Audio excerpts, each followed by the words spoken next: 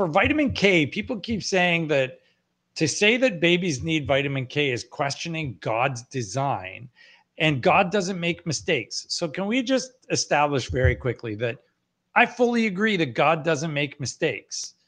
However, God has nothing to do with ongoing biology. Like he's a busy guy. He's not concerned with the biological setup that he created, which includes mutations and evolutionary changes and babies born sick or stillborn or with cancer or with all their organs turned around because it's called situs inversus or with uh, parts missing or extra chromosomes or missing chromosomes or a host of various possibilities, none of which are normal and all of which are there right from birth for the baby. So, this idea that babies are perfect and God designed it that way is just so incredibly, insanely silly.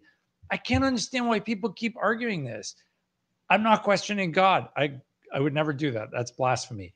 This isn't about questioning God. It's about biology, people. And biology has nothing to do with God. God did not make human beings perfect. That's why we have medicine. Otherwise, we wouldn't need medicine.